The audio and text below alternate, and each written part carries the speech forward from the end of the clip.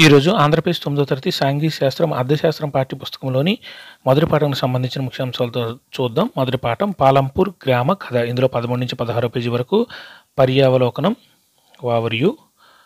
పాలంపూర్ అనే ఒక ఊహాజనిత గ్రామం ద్వారా దేనికి సంబంధించిన కొన్ని ప్రాథమిక భావాలను పరిచయం చేయడం ఈ కథ ఉద్దేశం ఉత్పత్తికి.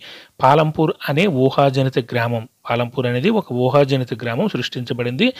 ద్వారా దేనికి సంబంధించిన కొన్ని ప్రాథమిక బాధలను పరిచయం చేయడం ఈ కథ ఉద్దేశం అంటే ఉత్పత్తికి సంబంధించిన ప్రాథమిక భావాలను పరిచయం చేయడానికి పాలంపూర్ అనే ఊహాజరి గ్రామాన్ని సృష్టించారు. మనకు చెబుతున్నారు.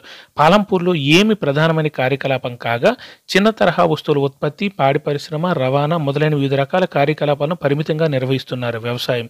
పాలంపూర్లో ఏమి ప్రధానమైన కార్యకలాపం కావా? చిన్న తరహా వస్తువులోత్పత్తి పాడి పరిశ్రమ రవాణా మొదలైన వివిధ రకాల ఇతర కార్యకలాపాలను పరిమితంగా నిర్వహిస్తున్నారంటే వ్యవసాయం ప్రధాన కార్యకలాపం కాగా మిగిలిన వాటిని కూడా నిర్వహిస్తున్నారు పరిమితంగా అది కూడా. ఈ ఉత్పత్తి కార్యకలాపాలకు వివిధ రకాల వనరులైన ఏమి అవసరం అంటే సహజ వనరులు మానవ నిర్మిత వనరులు మానవ ప్రయత్నం డబ్బు మొదలైనవి. ఈ ఉత్పత్తి కారకాలకు వివిధ రకాలైన వనరులు అయినా ఏమి అవసరం అంటే సహజ వనరులు అవసరం మానవ నిర్మిత వస్తువులు అవసరం మానవ ప్రయత్నం అవసరం డబ్బు మొదలైనవి కూడా అవసరమై ఉంటాయి. గ్రామంలో అవసరమైన వస్తు సేవలను ఉత్పత్తి చేయడానికి వివిధ రకాల వనరులను ఎలా మిళితం చేస్తారో పాలంపూరు గ్రామ కథను చదవడం ద్వారా మనం నేర్చుకుందాం. ఈ పాఠంలో మనం గ్రామంలో అవసరమైన వస్తు సేవలను ఉత్పత్తి చేయడానికి వివిధ రకాల వనరులను ఎలా మిళితం చేస్తారో పాలంపూరు గ్రామ కథను చదవడం ద్వారా మనం నేర్చుకుందాం. ఇదంతా టోటల్గా బేసిక్స్ నుంచి వెళ్తుంది కాబట్టి కొంచెం జాగ్రత్తగా చదువుకుందాం. పరిచయం. ఏ గ్రామం చుట్టుపక్కల గ్రామాలు పట్టణాలతో చక్కటి రవాణా సదుపాయం కలిగి ఉంటుందంటే పాలంపూర్ గ్రామం. ఏ గ్రామం చుట్టుపక్కల గ్రామాలు పట్టణాలతో చక్కటి రవాణా సదుపాయం కలిగి ఉంటుందంటే పాలంపూర్ గ్రామం. ఏ గ్రామం పాలంపూర్కు మూడు కిలోమీటర్ దూరంలో ఉందంటే రాయ్గంజ్ అనే పెద్ద గ్రామం. ఏ గ్రామం పాలంపూర్కు మూడు కిలోమీటర్ దూరంలో ఉంటుందంటే రాయ్గంజ్ అనే పెద్ద గ్రామం. రాయ్గంజ్ నుండి దగ్గరలోని చిన్న పట్టణమైన దేనికి అన్ని కాలాలలోనూ వాహనాలు తిరిగే రహదారి సదుపాయం ఉందంటే షాపూర్కు. రాయ్గంజ్ నుండి దగ్గరలోని చిన్న పట్టణమైన దేనికి అన్ని కాలాలలోనూ వాహనాలు తిరిగే రహదారి సదుపాయం ఉందంటే షాపూర్కు. ఈ రోడ్డు మీద ఏం కనబడతాయంటే ఎడ్ల బండ్లు టొంగాలు బెల్లం కర్లు ఇతర వస్తువులు నింపుకున్న భోగీలు అంటే ఆ గేదెలు లాగే చెక్క బండ్లతో మొదలైనవి కో మొదలను కోరుకొని మోటార్ సైకిళ్ళు జీపులు ట్రాక్టర్లు ట్రక్కుల ద్వారా వివిధ రకాల వాహనాలు కూడా కనబడతాయి. ఈ రోడ్డు మీద ఏమేమి కనబడతాయి? అంటే ఎడ్ల బండ్లు కనబడతాయి టాంగాలు కనబడతాయి బెల్లం గర్లు కనబడతాయి అంటే బెల్లం నింపే గర్లు కనబడతాయి. ఇతర వస్తువులు నింపుకున్న భోగీలు అంటే గేదెల చెక్క బండ్లు తో మొదలుకొని మోటార్ సైకిళ్ళు జీపులు ట్రాక్టర్లు ట్రక్కులు దాకా వివిధ రకాల వాహనాలు అన్నీ కనిపిస్తాయి. ఈ గ్రామంలో అంటే అలంపూర్ గ్రామంలో వివిధ కులాలకు చెందిన ఎన్ని కుటుంబాలు ఉన్నాయంటే నాలుగు వందల యాభై కుటుంబాలు ఉన్నాయి. ఈ గ్రామంలో వివిధ కుటాల కులాలకు చెందిన ఎన్ని కుటుంబాలు ఉన్నాయంటే నాలుగు వందల యాభై కుటుంబాలు ఉన్నాయి. గ్రామంలోని అధిక శాతం భూమి ఉన్నత కులాలకు చెందిన ఎన్ని కుటుంబాల చేతుల్లో ఉందంటే ఎనభై కుటుంబాల చేతుల్లో. నాలుగు వందల యాభై కుటుంబాలు ఉంటే ఉన్నత భూ అంటే మొత్తం ఎక్కువ శాతం భూమి ఎన్ని కుటుంబాల చేతుల్లో ఉందంటే ఎనభై కుటుంబాల చేతుల్లో ఉంది. వీరు ఇల్లు కొని ఇల్లు కొన్ని చాలా పెద్దవి ఇటుకల సిమెంట్తో నిర్మించినవి. అంటే పక్కా ఇల్లు. వీరి ఇల్లు అంటే ఈ ఉన్నత కుటుంబాలకు చెందిన ఇల్లు చాలా పెద్దవి ఇటుకలు సిమెంట్తో కూడా నిర్మించబడి ఉన్నాయి. జనాభాలో ఎన్నో వంతు షెడ్యూల్ కులాల వారు అంటే దళితులు ఉన్నారంటే మూడో వంతు. జనాభాలో ఎన్నో వంతు షెడ్యూల్ కులాల వారు అంటే దళితులు షెడ్యూల్ కులాల వాళ్ళు లేదా దళితులు ఉన్నారంటే మూడో వంతు మంది షెడ్యూల్ కులాల వారు ఉన్నారు. ఎవరు ఊరికి దూరంగా ఒక మూల నివసిస్తారు చాలా చిన్న ఇండ్లలో ఉంటున్నారు. వీటిలో కొన్ని మట్టి గడ్డితో నిర్మించినవి చాలా ఇళ్ళకు విద్యుత్ కనెక్షన్లు కూడా ఉంటాయి. ఉన్నాయంటే దళితులు. ఎవరు ఊరికి దూరంగా ఒక మూల నివసిస్తున్నారంటే దళితులు. వాళ్ళు చాలా చిన్న ఇండ్లలో ఉంటారు. వీటిలో కొన్ని మట్టి గడితో నిర్మించినవి చాలా ఇళ్ళకు విద్యుత్ కనెక్షన్లు కూడా ఉన్నాయి వీళ్ళకి ఈ గ్రామంలోని పొలాలలో గల అన్ని గొట్టబావులకు మరియు వివిధ రకాలైన చిన్న వ్యాపారాలకు కూడా దీన్ని వాడుతున్నారంటే విద్యుత్ను ఈ గ్రామంలోని పొలాల్లో గల అన్ని గొట్ట బావులకు మరియు వివిధ రకాలైన చిన్న వ్యాపారాలకు కూడా దీన్ని వాడుతున్నారంటే విద్యుత్తును వాడుతున్నారు. పాలంపూర్లో ఎన్ని ప్రాథమిక పాఠశాలలు ఎన్ని ఉన్నత పాఠశాలలు ఉన్నాయంటే రెండు ప్రాథమిక పాఠశాల ఒక ఉన్నత పాఠశాల ఉంది. పాలంపూర్లో ఎన్ని ప్రాథమిక పాఠశాలలు ఎన్ని ఉన్నత పాఠశాలలు ఉన్నాయంటే రెండు ప్రాథమిక పాఠశాలలు ఒక ఉన్నత పాఠశాల కూడా ఉంది. రోగులకు చికిత్స అందించడానికి ఏమేమి ఉన్నాయంటే ప్రభుత్వ ఆధ్వర్యంలో నడిచే ఒక ప్రాథమిక ఆరోగ్య కేంద్రం ఒక ప్రైవేటు డిస్పెన్సనరీ రోగులకు చికిత్స అందించడానికి ఏమేమి ఉన్నాయంటే ప్రభుత్వ ఆధ్వర్యంలో నడిపే ఒక ప్రాథమిక ఆరోగ్య కేంద్రం మరియు ఒక ప్రైవేటు డిస్పెన్సనరీ ఊహాజనిత గ్రామమైన ఒక పాలంపూర్ గ్రామ కథ ఒక గ్రామంలోని వివిధ రకాల ఉత్పత్తి కార్యకలాపాలను మనకు పరిచయం చేస్తుంది. భారతదేశ గ్రామాల్లో ఏది ప్రధాన ఉత్పత్తి కార్యకలాపం అంటే వ్యవసాయం. ఊహాజనిత గ్రామమైన ఈ పాలంపూర్ గ్రామ కథ అనేది ఒక గ్రామంలోని వివిధ రకాల ఉత్పత్తి కార్యకలాపాలను మనకు పరిచయం చేస్తుంది. టోటల్గా బేసిక్స్ భారతదేశ గ్రామాల్లో ఏది ప్రధాన ఉత్పత్తి కార్యకలాపం అంటే వ్యవసాయం. అంటే ఉత్పత్తి కార్యకలాపాలకు సంబంధించిన బేసిక్స్ అన్నీ ఒక గ్రామాన్ని తీసుకొని ఒక ఊహాజనిత గ్రామాన్ని చూసుకొని మనకు చెప్తున్నారు. చాలా జాగ్రత్తగా నేర్చుకుందాం. భారతదేశ గ్రామాలు ఏది ప్రధాన ఉత్పత్తి కార్యకలాపం అంటే వ్యవసాయం. ఇతర ఉత్పత్తి కార్యకలాపాలను వ్యవసాయేతర కార్యకలాపాలు అంటారు. వీటిలో ఏముంటాయంటే చిన్న వస్తువుల ఉత్పత్తి రవాణా దుకాణాల నిర్వహణ మొదలైనవి. ఇతర ఉత్పత్తి కార్యకలాపాలను వ్యవసాయేతర కార్యకలాపాలు అంటే వ్యవసాయం కాకుండా ఇతర వాటిని ఏమంటారంటే వ్యవసాయేతర కార్యకలాపాలు అంటారు. వీటిలో ఏమేమి ఉంటాయంటే చాలా ఉంటాయి. చిన్న వస్తువుల ఉత్పత్తి రవాణా దుకాణాల నిర్వహణ వంటివి. ఉత్పత్తికి సంబంధించిన కొన్ని సాధారణ విషయాలను తెలుసుకున్న తర్వాత మనం ఈ రెండు రకాల కార్యకలాపాలను పరిశీలిద్దాం. ఈ రెండు రకాల కార్యకలాపాలు అంటే ఏంటంటే వ్యవసాయ వ్యవసాయేతర కార్యకలాపాలను కూడా మనం పరిశీలిద్దాం. మొదట ఉత్పత్తికి సంబంధించిన కొన్ని సాధారణ విషయాలు తెలుసుకుందాం.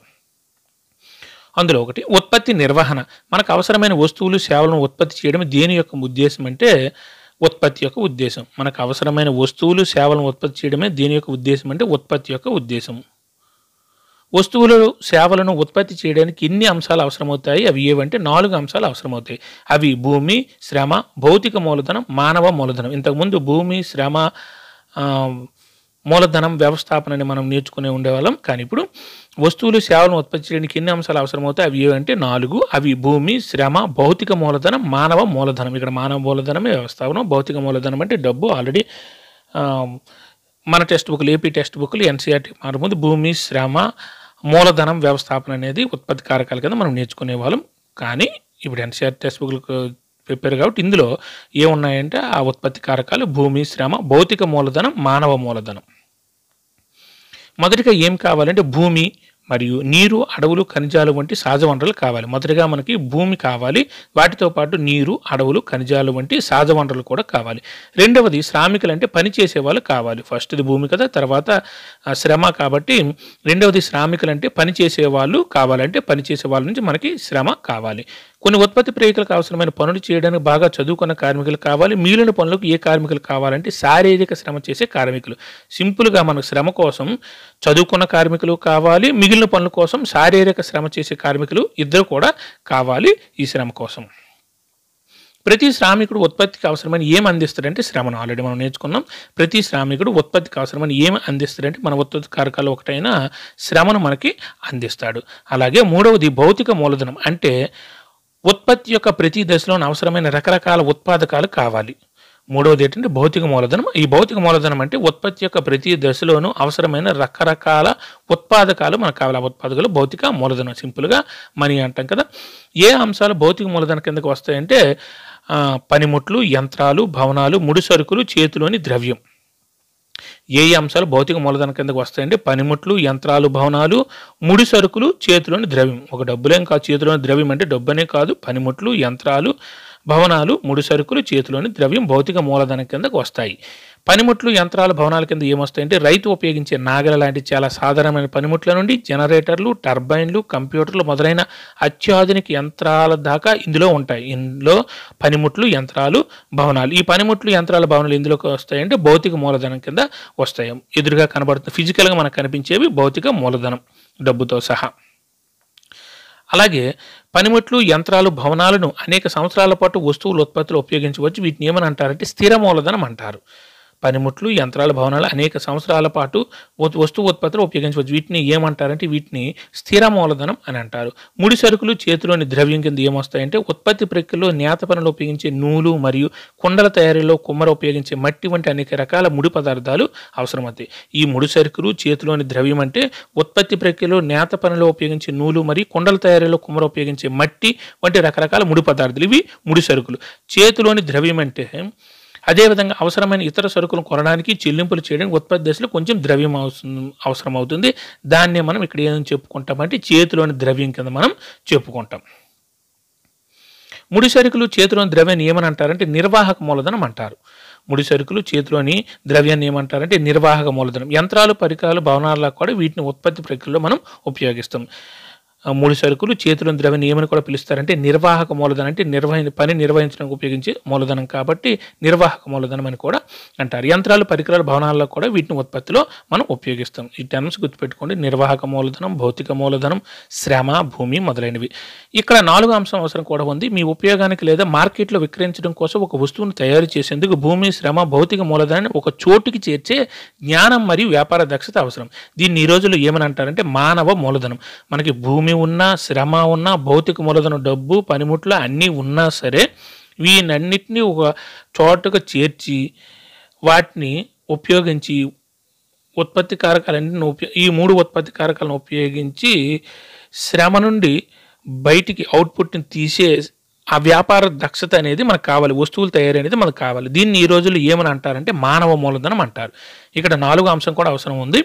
మీ ఉపయోగానికి లేదా మార్కెట్లో విక్రయించడం కోసం ఒక వస్తువును తయారు చేసిన అంటే మార్కెట్లో విక్రయించడానికి ఒక వస్తువును తయారు చేయడానికి భూమి శ్రమ భౌతిక మూలధనంతో పాటు అత్యంత ప్రముఖమైనది మానవ మూలధనం. సింపుల్గా చెప్పవచ్చు. మూలధనాన్ని ఒక చోటుకి చేర్చే జ్ఞానం వ్యాపార దక్షత అవసరం. దీన్ని ఈ రోజులు ఏమని పిలుస్తారంటే మానవ మూలధనం అని పిలుస్తారు. భూమి శ్రమ భౌతిక మూలధనం మానవ మూలధనాన్ని కలుపుకొని ఉత్పత్తిని నిర్వహిస్తారు. వీటిని ఏమని అంటారంటే ఉత్పత్తి కారకాలు అంటారు. భూమి శ్రమ భౌతిక మూలధనం మానవ మూలధనాన్ని కలుపుకొని ఉత్పత్తిని నిర్వహిస్తారు. వీటిని ఏమని అంటారంటే ఉత్పత్తి కారకాలు.